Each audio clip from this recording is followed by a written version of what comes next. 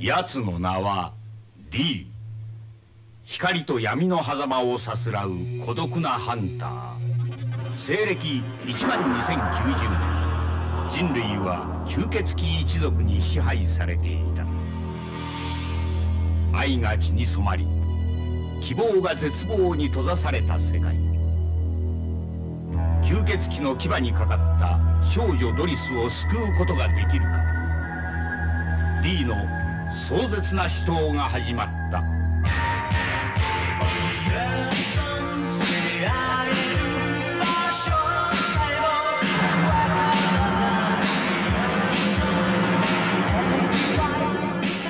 注目の SF ホラースペクタクルロマン。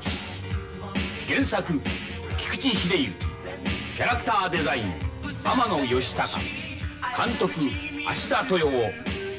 3つの才能が爆発するニューアニメの誕生。ヴァンパイアハンター。